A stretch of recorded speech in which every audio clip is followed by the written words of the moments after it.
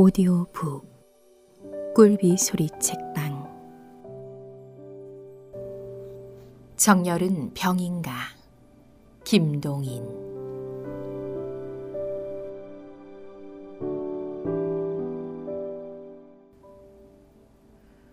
왕, 뺑 하는 날카로운 고동 소리와 왕 하는 우렁찬 고동 소리.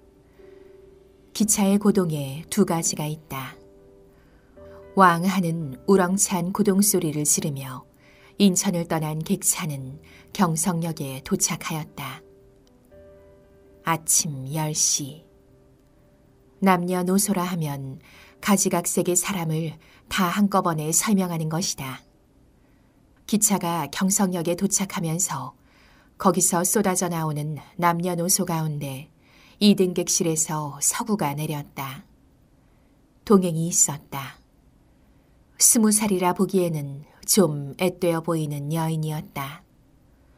모양은 작으나 좌우간 양쪽을 하였으니 미세스인지 미스인지 알 수 없다.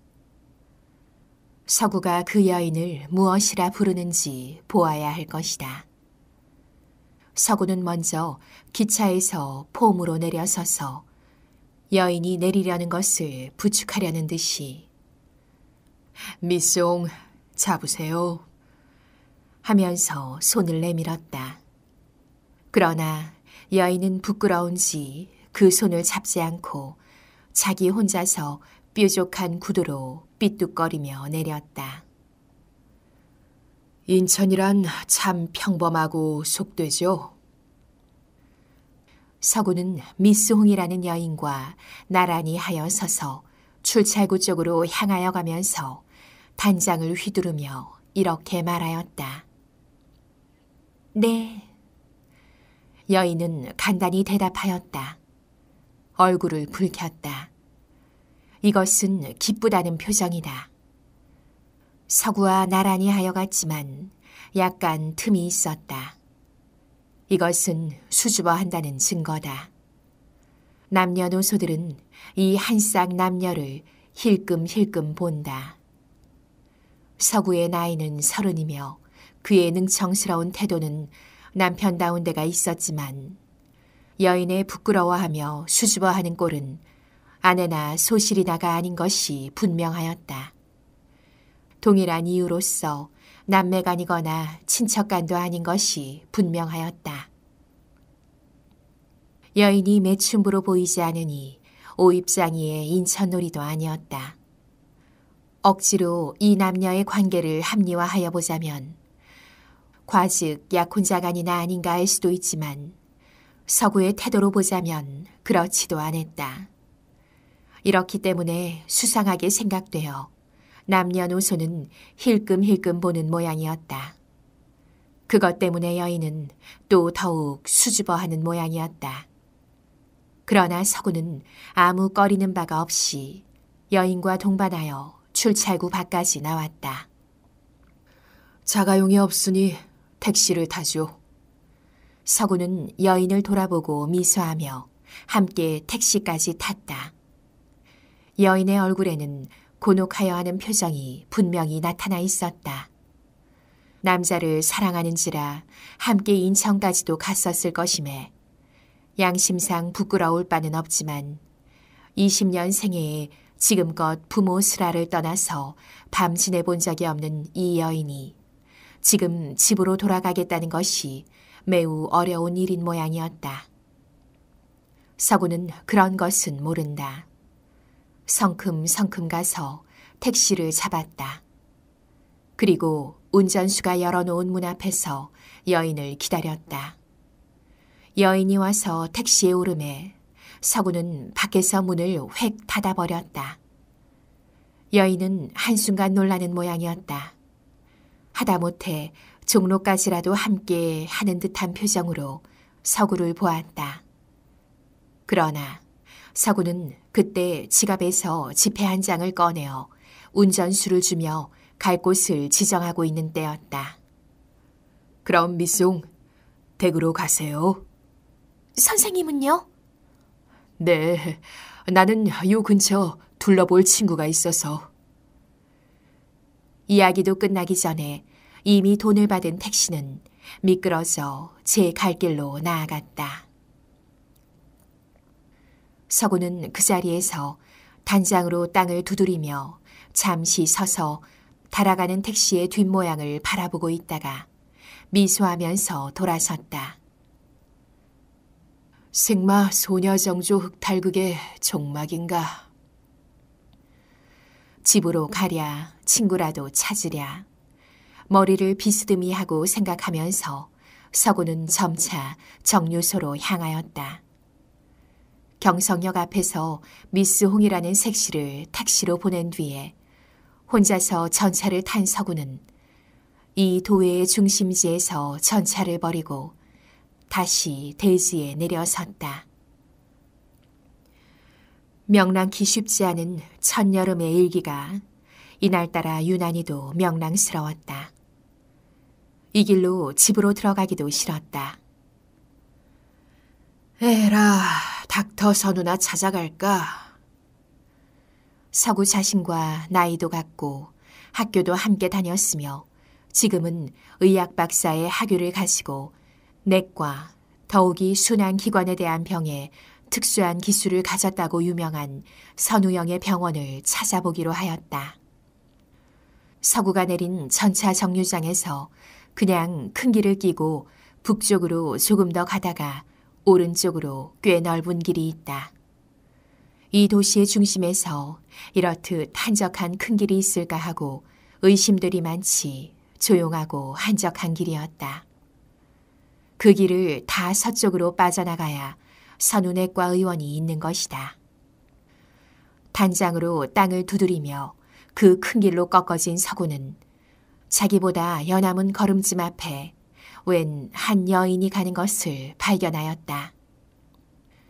먼저 머리를 보았다. 그 다음엔 어깨를 보았다.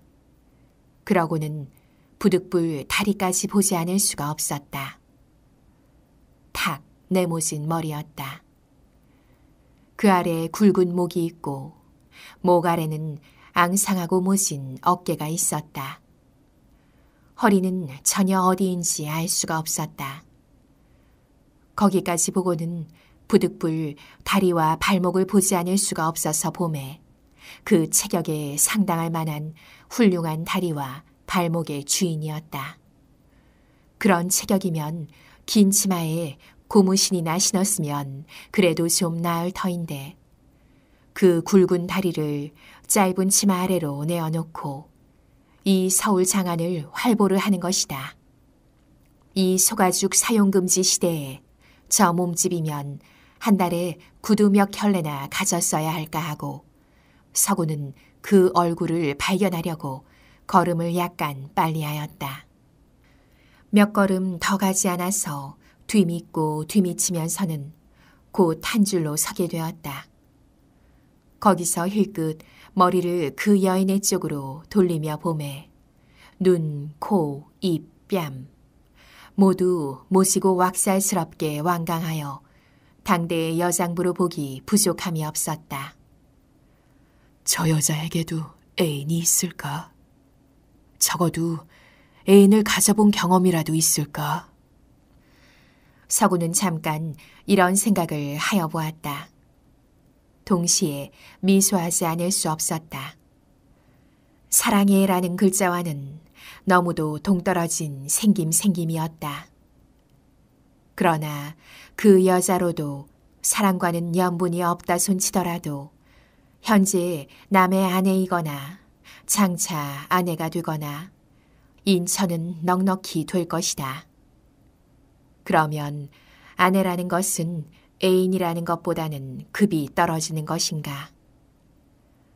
30년 생에 현재 한 아내를 가지고 있고 적지 않은 애인을 경험한 일이 있는 서구는 처음은 농담조로 스스로 자기에게 이런 질문을 던져보았다.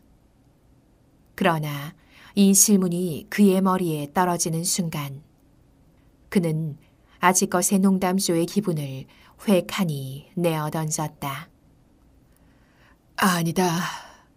전 사람의 애인 만 사람의 애인일지라도 한 현처에 한 머리칼 끝을 당하지 못할 것이다.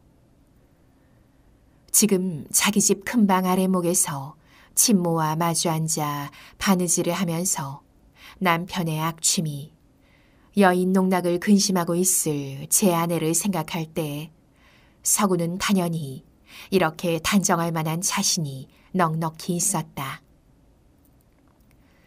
자기의 아내는 물론 남편의 악취미에 근심을 한다. 그러나 결코 미워한다든가 질투한다든가 하는 일은 없다. 왜? 대답은 간단하다.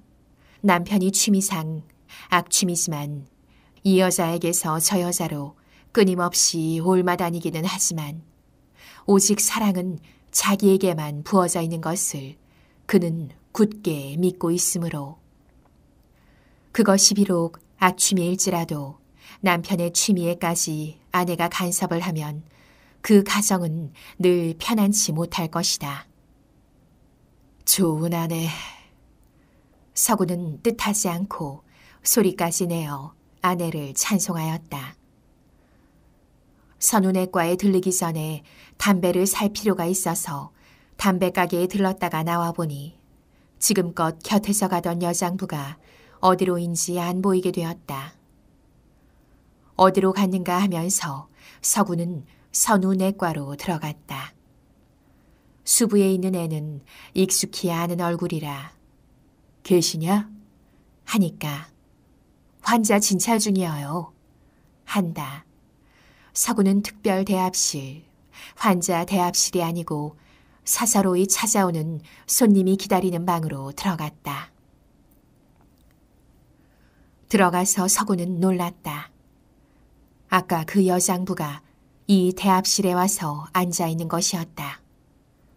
특별 대합실로 가지 않고 이리 온 이상은 이 여자도 무슨 사사로운 일로 찾아왔을 것이다. 얼굴이나 좀 묘하게 생겼다면 선우 박사가 현재 아직 총각이니 그럴 듯도 하지만 이 얼굴로는 그런 상상도 할 수 없고 간호부의 동무 같지도 않고 애당초 신분을 알아낼 수가 없었다. 서구는 그 여자를 정면으로 볼 수 있는 의자에 가서 걸터 앉아서 정면으로 건너다 보았다. 보면 볼수록 장부다운 여자였다. 어느 모로 뜯어보아도 귀염성이라고는 손톱만치도 찾아볼 수 없고 애교라든가 미라든가 하는 것은 약에 쓰려 해도 없을 사람이었다. 여자에게 이야기를 건네보는데 주저할 서구가 아니었다. 그 위에 이 여자는 혹은 생리학적으로는 여자일지는 모르나 그 밖에는 전혀 남자나 일반이라 서구는 그냥 단장을 짚은 채 모자도 그냥 쓴 채 의자에 앉은 채로 말을 건네보았다. 선우 박사 만나러 오셨습니까? 네. 목소리만은 우습도록 가냘펐다. 그 위에 이 얼굴도 붉어지는 때가 있는 양 하여 얼굴까지 약간 붉힌다. 본시부터 박사와 친하셨습니까? 네. 또 얼굴을 붉힌다. 만약 보통 얼굴만 가졌더라도 이렇게 두 번이나 얼굴을 붉히는 것을 보았으면 서로 사랑하는 사이겠거니 볼 것이지만 여자의 얼굴이 하도 엄청나서 도저히 그 방면으로는 해석하기가 힘들었다. 저는 서구라고 선우 박사와 아주 친한 사이올시다. 네, 그러셔요. 저는 김여경이라고 해요. 빛날 여자 벼슬 경자세요? 네. 빛날 여자 이름을 가졌으나 빛나는 얼굴이 아니었다. 서구는 피칸이 터져 나오려는 웃음을 간신히 참았다. 실례지만 선우 박사와 사랑하시는 사이세요? 이 질문은 서구가 아니면 내지 못할 질문이요. 또 이러한 상대자에게가 아니면 던지기 힘든 질문이었다. 노염을 살 줄 알았다. 노염을 내면 그냥 조롱을 하여가면서 시간을 보낼 심산이었다. 그랬는데 그 반응은 너무도 서구의 예상과 틀렸다. 여인은 얼굴이 주홍빛이 되었다. 목에서 손가락까지 옷 밖으로 보이는 살은 모두 진홍색이 되며 머리를 푹 가슴에 묻고 말았다. 서로 사랑하는지 어떤지는 모르지만 적어도 여자 편에서 선우 박사에게 반한 것이 분명하였다. 지금 한창 신진 학구로 도국의 명수로 돈벌이 잘하는 젊은이로 아직 총각으로 가문도 양반은 못되나마 상민은 아닌 집안으로 서울서 시집 보낼 딸을 가진 사람으로서는 모두 사위 후보자로 눈여겨보는 선우 박사를 애인의 자격으로 찾아온 이 여인을 한순간은 석으로도 눈이 멍하니 바라보지 않을 수가 없었다. 웃어야 할지 분개하여야 할지 조소해야 할지 알 수 없어서 서구는 막막히 건너편 여인을 바라보았다. 여자와 대하여서는 어떤 일에든 임기웅변으로 낭패 본 일이 없는 서구도 이 여자가 선우 박사의 애인이라는 데는 여자 취급에 온갖 체간이 다 죽어버렸다. 환자를 돌려보내고 다른 환자를 내버려 두고 선우 박사는 특별 응접실로 나왔다. 나와서 거기서 김여경 양과 서구의 두 사람을 발견한 박사는 낭패한 듯이 양손을 부비었다. 어떤가? 의자에 앉은 채 모자를 쓴 채 단장으로 마루를 두드리며 서구는 박사에게 인사하였다. 오, 박사는 낭패하였다. 낭패한 모양이 분명히, 아니, 어떤 정도까지는 김여경 양과 평범한 새가 아니라는 것을 증명하였다. 여경이도 의자에서 일어나서 손을 앞으로 읍하고 마치 여학생이 선생님께 인사하듯 박사에게 인사하였다. 그 인사에 대하여 박사의 인사도 적지 않게 낭패하는 모양이었다. 여복의 선욱은 이 두 남녀가 보통 새가 아니라는 것을 간파한 서구는 드디어 그의 본질을 드러내기 시작하였다. 어. 김양께 들었네. 축하하네. 그런데 자네같이 흉측한 사람은 없어. 몰래 우물쭈물 제 볼몫을 본단 말인가? 아니, 아, 뭐, 뭐, 미안하이. 내가 이 자리에 오래 있었다가는 두 분께 다 미움을 살 테니 퇴각하기로 하세. 오늘 자네를 찾아온 것은 다름이 아니라 좀 미색을 했더니 유흰빈이 좀 필요해서. 뭐, 아, 가만. 박사는 황망히 서구의 말을 막았다. 아, 이, 이리 좀 들어오게. 어디? 진찰실로. 아니, 유힘, 어, 진찰하고. 끌다시피 하고 박사는 서구를 진찰실로 데리고 갔다. 가서는 곧 나무람이 나오기 시작했다. 여보게, 남 듣는 데서 그게 무슨 실없는 말이람. 남이 뭔가 장래 선우 부인이라기에 내야 남으로 여기지 않고 한 말이지. 유인비는 주사를 맞겠나 알약을 줄까? 집어치게. 환갑진갑 지나면 모르지만 30소년이 유인빈 쓴다면 가문의 불명예일세. 에이, 이 사람아. 서구는 눈을 들어 건너편 선우 박사를 바라보았다. 사람의 사랑은 얼굴에 미취에 달린 바 아니니 말할 것 아니지만 지금이 선우 박사가 애인으로 택한 여자가 과연 일생을 선우 박사와 동고동락할 만한 짝이 될 수 있을까? 비교적 단순한 심약한 박사임에 한 번 아내로 맞은 사람은 좀채 버리지는 않을 것이다. 그러나 장차 만일 마음이 서로 맞지 않게 된다 하면 버리지 않는다는 것은 필경 일생을 고통과 불평 중에서 살아간다는 것과 마찬가지의 일이다. 물론 만약 시간이 좀 더 진정될 것 같으면 친구된 의무로서 양편의 심경과 이상의 성격을 잘 타진하여 장차 불행한 일이 생길 줄 예견되면 상당한 충고도 하여야 할 것이지만 지금의 박사의 심경도 좀 더 알아보고 싶었다. 산에 30이면 혈기에만 날뛰는 소년도 아니다. 박사의 수하에는 여러 명의 아리따운 간호부도 있다. 박사의 명예와 지위와 수입을 사모하여 찾아드는 여자도 적지 않다. 이런 적지 않은 여성 가운데서 박사는 하필 이런 역사를 택할 생각을 내었나. 말없이 잠깐 박사의 얼굴을 보고 있을 동안 박사는 특별 응접실에 혼자 남겨둔 여경이 때문에 안절부절하는 모양이었다. 김양은 무얼 하는 분인가? 학교 교원. 제조 교원이던가? 아니, 재봉. 너무 엉뚱한 현실에 다시 터지려는 웃음을 참으며 서구는 몸을 일으켰다. 지나는 길에 들렀던 걸세. 바쁜 모양이니 가겠네. 간단한 인사를 하고 이번은 보통 환자 대합실을 지나서 선우 내과 의원을 나섰다.